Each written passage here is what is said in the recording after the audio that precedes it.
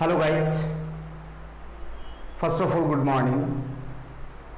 Today in this lesson or video i am going to tell you about the solution of exercise 8.1 or means we are going to solve the exercise 8.1 from very first question. The basic introduction in which definitions of all type of the quadrilaterals comparison between them properties and the theorems portion we have already discussed in the last videos. Now i'm starting directly from the very first question of the exercise 8.1 which is based on the quadrilateral for class 9th standard from ncert syllabus. So let's proceed. What is the given question? First is uh, question statement of the question is if the all angles of a quadrilateral. If all angles of a quadrilateral are in the ratio 3 ratio 5 ratio 9 ratio 13 then find the value of each and every angle. Statement of the question. This is the first question of the exercise 8.1 statement means uh, all ratio of all angles are given. Ratio of angles जो दे रखा हमें three ratio five ratio nine ratio thirteen clear from here we have two method to solve this question. First is, we can use the algebraic method or the algebraic method. अब देखो, ये first angle consider करता हूँ, ये second angle consider करता हूँ third angle ये fourth angle let be the first angle equal to three x consider कर सकते हैं। अपन सभी को अक्स से मल्टीप्लाई कर दो। भाई थ्री एक्चुअली में प्रॉब्लम ये रहती है कि हम अक्स कंसिडर क्यों कर रहे हैं यहाँ पे? बेसिकली जैसे मान लो कि मान लो लेट सपोज़ ये थर्टी रेशियो फिफ्टी है। मान लो, कोई रेशियो है। तो ये टेन से कंसिल होगा तो थ्री रेशियो फाइव आएगा। तो यहाँ तो हमें पता चल गया कि इस वैल्यू को अपन ने टेन से डिवाइड किया है। लेकिन यहाँ थोड़ी ना पता है। भाई रेशियो क्या होता है? Ratio is the simplest format of a fraction fraction formation होता है फ्रैक्शन को रेशियो में कन्वर्ट किया जाता है। तो ये सिंपलेस्ट फॉर्मेट हुआ। तो ये किसी न किसी वैल्यू से कैंसिल आउट एटलीस्ट वन से हुआ होगा। टू से भी हो सकता है। लेकिन कि कोई ना कोई एक वैल्यू ऐसी रही होगी जो इन सभी के लिए कॉमन थी। और यदि कोई कॉमन वैल्यू होगी तो उससे कैंसिल हुआ तो हमें अभी तक उसका कोई आइडिया नहीं we do not have any idea for which value we divided और this these four numbers are divided तो हमें ये कोई आइडिया नहीं है तो मैं उस नंबर को अक्स कंसिडर कर रहा हूँ। मान लो कि यहाँ पे टेन हुआ तो मैं इसको अक्स लगा दूँ। थ्री एक्स फाइव एक्स तो यहाँ पर अक्स इज़ इक्वल टू क्या होगा? टेन होगा। और ये तो चलो हमें पता है, लेकिन वैसे ही मैंने यहाँ पे आइडिया लगाया कि किससे कैंसिल हुआ होगा? ये एक मेरा इमेजिनेशन सपोज़ है मेरा। लेकिन हम डायरेक्टली नहीं बोल सकते कि ये पर्टिकुलरली इस कांस्टेंट वैल्यू से डिवाइड हुआ होगा। तो फिर उस वैल्यू को हमें गेन करने के लिए हमें एक वेरिएबल कंसिडर कर लिया, जो कि अपन ने अक्सर डिनोट कर लिया। क्लियर है? तो फ़र्स्ट एंगल अब देखो, ये भी टेन से ये भी टेन से तो रेशियो में सभी वैल्यू जो भी कौन जिससे भी डिवाइड हुआ वो वैल्यू कॉन्स्टेंट होती है और वो सभी में इक्वल होती है। तो यहाँ अक्स होगा तो यहाँ पर भी अक्स होगा। सिमिलरली अपन इसकी बात करें। Second angle पे। If the first angle this one, then second angle will be 5x third angle 9x and fourth angle quadrilateral में चार एंगल होते हैं। Is equals to 13x clear है? अब ट्राइंगल वो सॉरी क्वाड्रिलेटरल की एक बेसिक प्रॉपर्टी होती है। Sum of all angles of a quadrilateral will find to be 360 degree we know that we know that all angles of a quadrilateral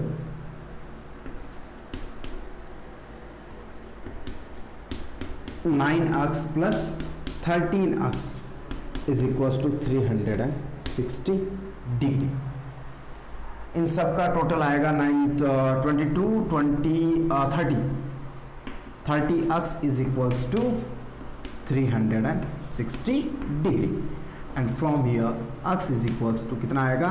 Three 360 divided by 30 and result is uh, 12 12 degree तो x आपके पास कितना आ गया? 12 आ गया. तो अक्स की value यहाँ अप्लाई कर दो. Then first angle is equals to 12 into 3 3 into 12 36 degree. Second angle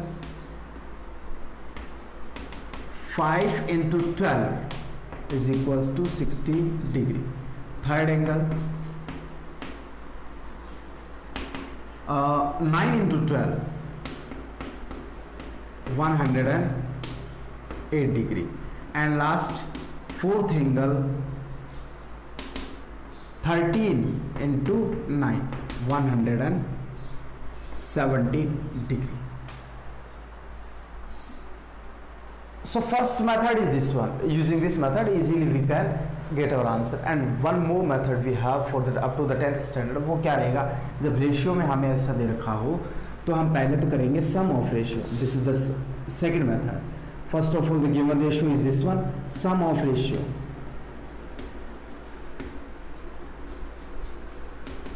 क्या बनेगा? Three five nine thirteen which is equals to thirty clear है? अब हमें एंगल कैलकुलेट करना है। तो फ़र्स्ट एंगल डायरेक्टली यही से होगा। फ़र्स्ट एंगल तो फॉर्मूला क्या रहता है? कॉरस्पॉन्डिंग रेशियो जो भी रेशियो है, corresponding ratio upon sum of ratio. Into into total amount यहाँ पे अमाउंट का मीनिंग होगा। Amount is a value for which we are calculating the values means total amount वो एक कंप्लीट वैल्यू होती है जिसके कोरस्पॉन्ड अपन वैल्यू कैलकुलेट करना चाहते हैं। मीन्स यहाँ पे टोटल अमाउंट का मीनिंग होगा, हम किसके कोरस्पॉन्ड हमें एंगल फाइंड आउट करना है। तो क्वाड्रिलेटरल के लिए टोटल अमाउंट क्या होगा? वो 360 डिग्री और ट्रायंगल के लिए क्या होगा? 180 डिग्री तो एंगल पर्टिकुलरली एंगल की तो अब फ़र्स्ट एंगल कोरस्पॉन्डिंग रेशियो तो फ़र्स्ट एंगल का रेशियो क्या था? Three upon sum of ratio thirty into 360 degree तो ये से कैंसिल होकर 12 देगा। 3 into twelve degree is equal to 36 degree. Second angle second angle क्या रहेगा आपके पास? 5 upon 30 into three hundred and sixty and it found to be degree में यही रहेगा ये। 12 degree is equals to sorry यहाँ पे 5 आएगा। 60 degree similarly fourth third third ratio is nine upon 30 into three hundred and sixty degree वही 9 into twelve one degree and last fourth angle is found to be 13 upon 30 into three hundred and sixty result is 13 into twelve thirteen था ना ये? Nine कहाँ से आया ये?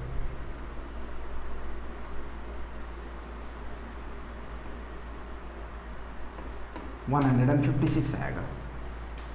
तो ये भी कितना आ गया? One hundred and fifty six वो बाई मिस्टेक नाइन लिखा गया यहाँ पे। क्लियर है? तो ये अलग अलग टू मेथड मैंने एक्सप्लेन किया आपको। आपको जो मन करे उसी को आप अडोप्ट कीजिए। अब देखो क्वेश्चन नंबर सेकंड को अपन प्रोसीड करते हैं।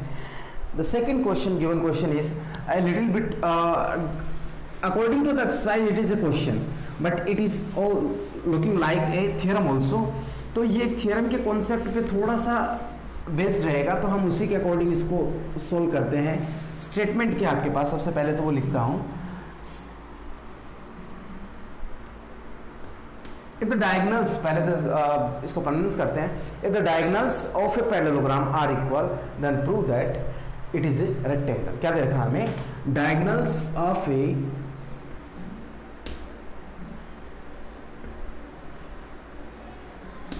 of a parallelogram are equal then prove that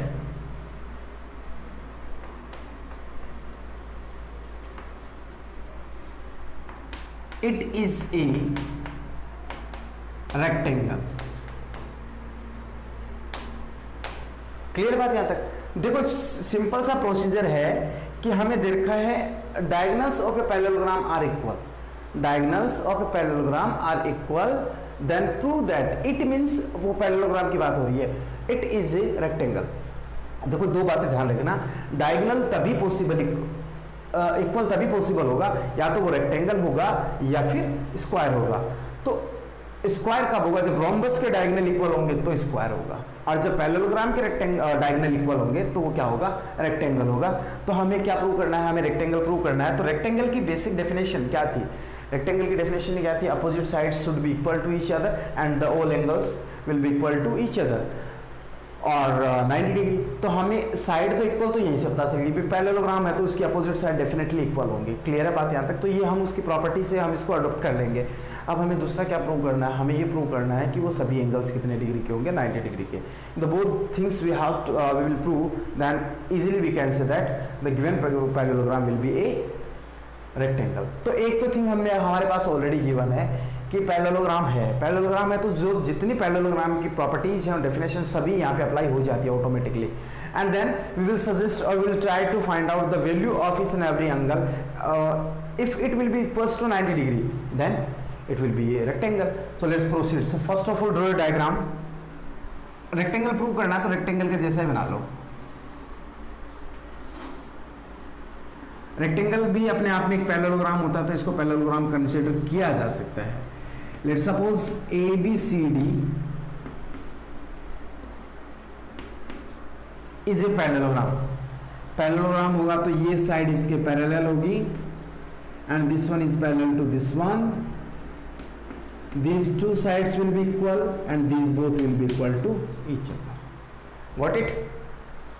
So write here what is the given thing given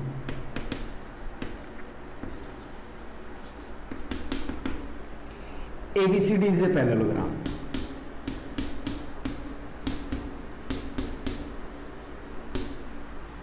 ABCD is a parallelogram. Parallelogram होगा तो definitely AB equals to CD and BC equals to AD. Clear? AB equals to CD and BC equals to AD. after it one more thing is given the diagonals of a parallelogram are equal parallelogram के diagonals भी equal हैं तो हम ये बोल सकते हैं diagonals क्या होंगे यहाँ पे AC and BD AC equals to BD ये अलग अलग सिंबल्स यूज़ लिए, इसका मतलब थ्री यहाँ पे थ्री यहाँ पे तो ये दोनों इक्वल वन यहाँ पे वन यहाँ पे तो ये दोनों इक्वल टू यहाँ पे टू यहाँ पे then this both are equal to each other ये हमें गिवन वैल्यूज़ हैं। और गिवन वैल्यूज़ वैसे सभी लिखना कंपल्सरी नहीं है भाई हमें पता होता है कि अपोजिट एंगल भी इक्वल होते हैं डायगनल्स बाइसेक्ट करते हैं तो ये इसके इक्वल होगा, ये इसके इक्वल होगा तो एटसेट्रा एटसेट्रा काफ़ी सारी प्रॉपर्टीज़ होंगी तो हम ये सभी नहीं अप्लाई कर पाएँगे। कुछ अपन म्यूचुअल अंडरस्टैंडिंग भी होनी चाहिए क्वेश्चन के साथ में। अब हमें प्रूव क्या करना है? टू प्रूव हमें ये प्रूव करना है कि क्या? ABCD is a rectangle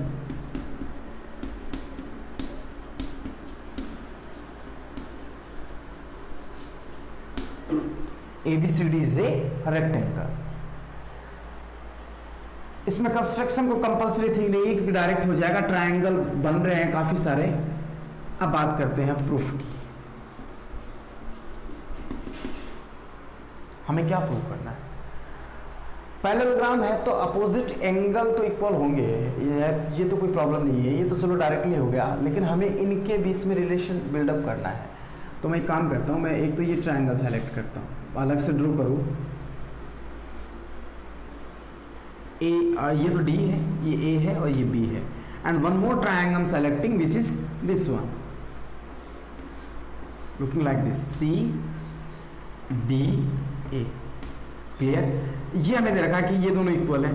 अपन ने ऑलरेडी मेंशन कर रखा है ये दोनों इक्वल है। ये इसके इक्वल है है ना? और ये दोनों में ए भी देखो ए भी कॉमन हो गए। तो यहाँ पे तो ट्रिपल एस क्राइटेरिया लग जाना है। From triangle A D B और A B D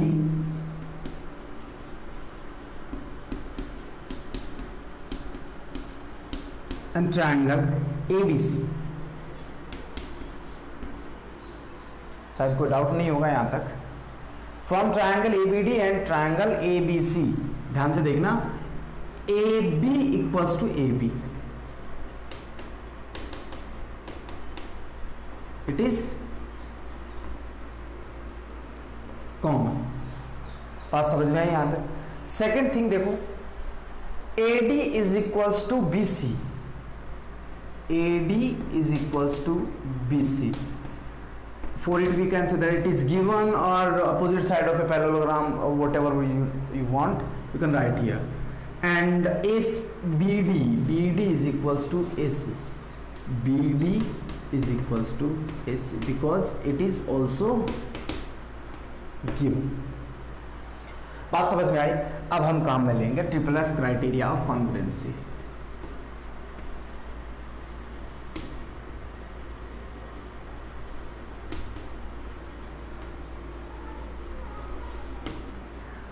using the triple criteria of congruency, we can say that triangle ABD पहला तो कुछ भी सेलेक्ट कर लो।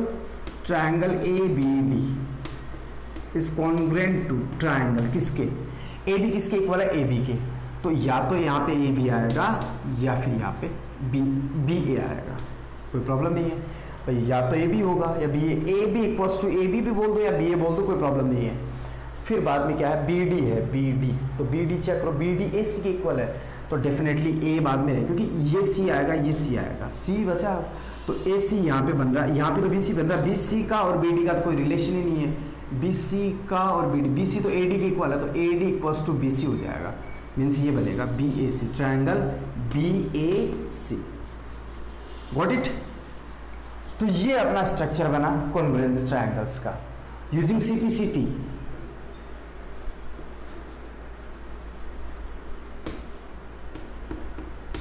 CPCT criteria हमें क्या कहता है? The corresponding part of the congruent triangle will be equal to each other ये ट्रायंगल में ही अप्लाई होगा क्वाड्रिलेटरल में अप्लाई नहीं होगा। हम क्या बोल सकते हैं? Angle A angle A means D A B angle D A B वो यहाँ से पता चलेगा D A B is equals to C B A D first में तो सी फ़र्स्ट में। ए सेकंड पे तो फ़र्स्ट वाला सेकंड पे आया तो यहाँ पर बी है। एंड बी जो मिडल में है तो यहाँ पे ए मिडल में आई बात समझ में? और इस दोनों को मैं मान लेता हूँ x lit but but sum of these both angles will be always equal to 180 degree it is the property of a parallelism because the sum of allied angle is found to be always 180 degree तो इन दोनों का sum 180 होगा, इन दोनों का sum 180 इन दोनों का sum 180 और इन दोनों का भी सम 180 डिग्री तो मैं यहाँ पे अब angle D A B plus angle C B A is equals to 180 degree तो ये अक्स है and this is also x is equals to 180 degree and from here 2x is equals to 180 degree और x क्या मिलेगा हमें? 90 degree x किसकी value है? X equal है a की वैल्यू b की value so the angle a, अब मैं एंगल a यूज़ ले रहा हूँ. Angle a is equals to angle b is equals to 90 degree similarly similarly बोल दो. या फिर देखो ये 90 का होगा तो डेफिनेटली ये भी 90 का होगा क्योंकि इन दोनों का sum 180 degree similarly if this is 90 degree then this is also 90 degree similarly angle C is equals to angle D is equals to 90 degree from here we can say that opposite side here opposite sides are equal and measure of every angle is 90 degree. Therefore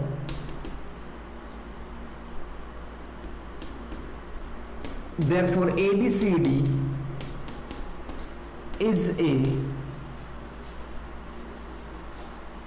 rectangle. Clear बात यहाँ तक? तो बहुत smooth सा इसका solution रहेगा। कभी कभी क्या होता है कि क्वेश्चन को अंडरस्टैंडिंग आपके क्वेश्चन की अंडरस्टैंडिंग पावर स्ट्रॉन्ग होनी चाहिए। आप इजीली उसका सोल्यूशन गेन कर पाओगे। I hope so understood so please pause the video and note it down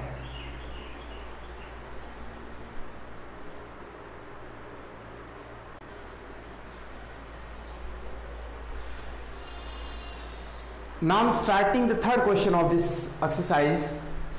Statement of this question is if the diagonals of any quadrilateral of any quadrilateral bisect each other at right angle then prove that it is a rhombus statement kya rahega if diagonals of a quadrilateral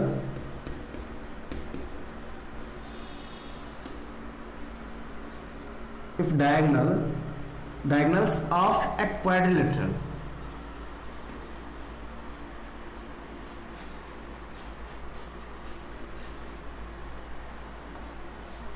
bisect each other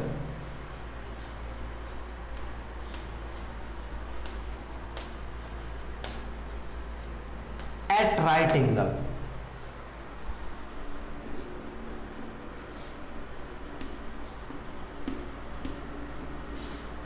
then prove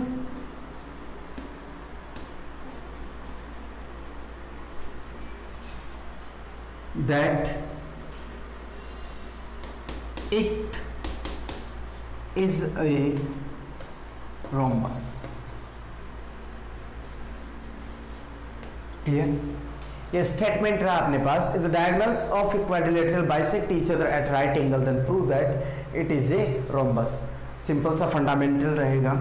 तो मैं पहले तो structure draw करता हूँ. Rhombus draw prove करना तो rhombus ही draw कर लेते हैं. हाँ हमें पता है कि हमने रोमबस ड्रॉ किया, लेकिन हम ये कंसिडर नहीं करेंगे कि ये रोमबस है, वरना तो फिर प्रो क्या करना हमें? तो हमें पता चल गया कि प्रो हमें रोमबस करना तो रोमबस के जैसा मैंने डायग्राम बनाया, लेकिन मैं इसको रोमबस कंसिडर करते हुए नहीं चलूँगा। मतलब कि रोमबस की प्रॉपर्टीज़ एक प्रॉपर्टी भी अप्लाई यहाँ पे अपन नहीं करेंगे। Diagonals are bisecting each other at 90 degree it means these both are equal and these both are equal and each and every angle is found to be 90 degree ये हमें दे रखा है। बाइसेक्ट मीन्स टू पार्ट्स में equal parts में at right angle तो ये right angle हुआ then prove that ABCD will be a rhombus so first of all given that हमें दे ही क्या रखा है? इस टाइप के क्वेश्चन में कुछ भी आपको एडिशनल नहीं करना होता। कभी कभी कंस्ट्रक्शन हो सकती है but almost the things you will get in the question और दिस स्टेटमेंट और इजीली आपको क्या करना होता है? क्वेश्चन को एनालिसिस करना होता है। हमने क्वेश्चन को एनालिसिस किया। उसके ऊपर अपन ने अपनी थियरी बनाई। और उसको जो भी अपनी थियरी बनी मतलब जो प्रॉपर्टीज़ बनी, उसको अपन ने क्वेश्चन पे अप्लाई किया। और हमें क्या क्या रिजल्ट्स मिले? और उनके वो रिजल्ट्स जो किस टाइप से हमारे बेनिफिशियल्स हैं? तो हमने सभी को मिक्सअप किया। और हमारा कंक्लूजन क्या निकलना चाहिए? हमारा कंक्लूजन एक रोम्बस ही मिलेगा। यदि आप एक्यूरेसी रखते हैं, आप अपने सोल्यूशन में। So given that in quadrilateral ABC.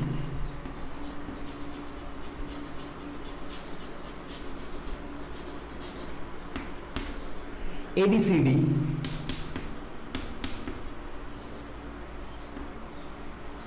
ये पॉइंट मान लेता हूँ diagonals are bisecting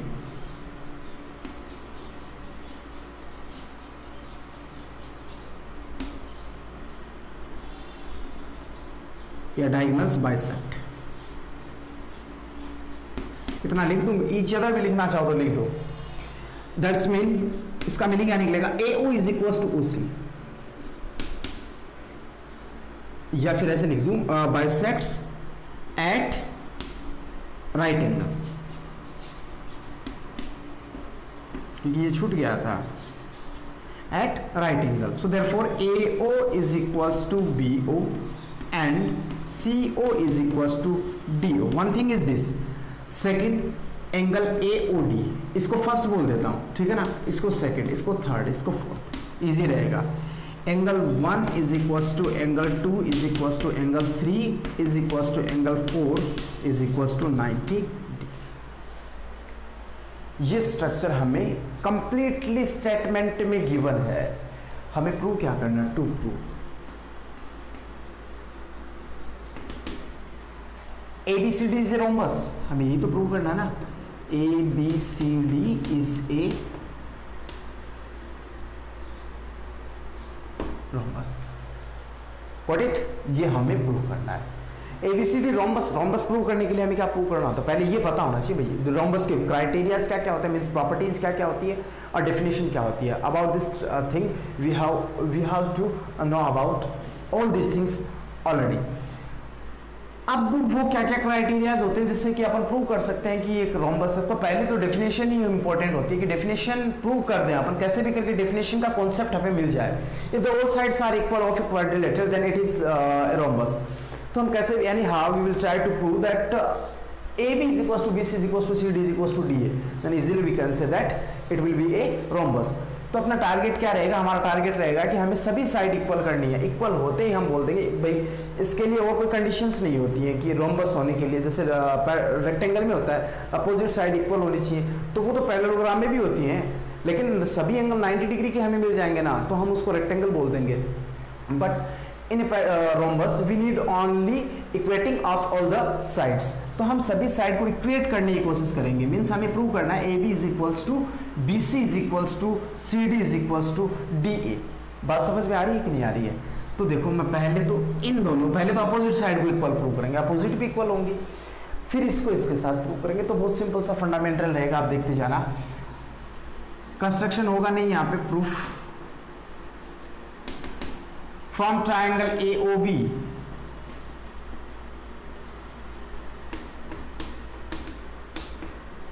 from triangle A O B या फिर, चलो रहने दो। इक्वल को ए ओ बी हम इन दोनों को कर लेते हैं। एडसेंट साइड्स को कर लेते हैं। फिर सिमिलरिटी का केस लगाएँगे। किस टाइप से? ए ओ बी सेलेक्ट किया और बी ओ सी सेलेक्ट कर लो। And triangle B O C ध्यान देना। A O is equals to ध्यान देखना। A O is equals to C O है ना? A O is equals to C O is equals to C O it is given ये बात हमें पता चल गई। Angle four of this triangle is equals to angle three of triangle B O C angle four is equals to angle three is equals to 90 degree क्यों? क्योंकि ये दे रखा है हमें। Given and then OB OB is common in both the triangles. OB is equals to OB because it is common clear side angle side criteria of congruency यहाँ पे right angle बन रहा है, लेकिन राइट एंगल की opposite side होती तो अपन आरएचएस क्राइटेरिया यूज़ लेते but it is not possible for here for this situation but this is a side it is an angle and it is a side So S criteria of congruency. What we can say that we can say the triangle AOB ध्यान देना AOB is congruent to triangle O तो centre में रहेगा now we have to check that in the left side we will use the A क्या left में क्या use लेंगे देखो ए यहाँ पे A O is equal to C O definitely C होगा फ़र्स्ट में सी ओ तो फिर थर्ड क्या बचा बी बात समझ में आई कि नहीं है triangle A O B is congruent to triangle C O B so therefore what we need we need that we are going to prove that A B is equal to B C हमें यही तो prove करना है इसके लिए। Side का concept therefore A B is using CPCT using CPCT corresponding part of the congruent triangle will be equal to each other. Therefore, AB is equals to uh, CB. AB is equals to CB. So two parts we have proved means the two adjacent side we have proved that these are equal to each other. So first thing we have completed. Now Similarly, we can say that what we can say that we can say that BC will be equals to CD. Similarly, BC equals to CD, and similarly, CD will equal to AD, and similarly, AB AD is equals to AB. So you can apply the same concept again and again, but it is not necessary for a particular question that you will revise all the things again and again. So directly I am writing similarly Similarly, AB is equals to BC, we have proved here, and C, BC is equals to CD. BC is equals to CD, comma, BC is equals to CD, CD is equals to AD, CD is equals to AD and one more thing AD is equals to AB AD is equals to AB so finally so finally we can say that AB is equals to BC BC is equals to CD and CD is equals to AD and AD is equals to AB already. So all sides are equal therefore ABCD is a rhombus hence to ये हमें to करना था. Clear बात यहाँ तक? तो ये अपना सोल्यूशन रहा क्वेश्चन नंबर थर्ड का. इजीली हमने गेन किया है. बहुत ही सिंपल प्रोसीजर है. आप और भी काफ़ी सारे मेथड्स रहते हैं.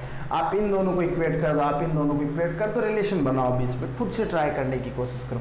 Okay student so it is in for the today's class and the remaining question some of the question will try to discuss in the next video you will complete the exercise in the next video then okay otherwise we will study the same exercise in the third video. I hope so you understood. So pause the video and note it down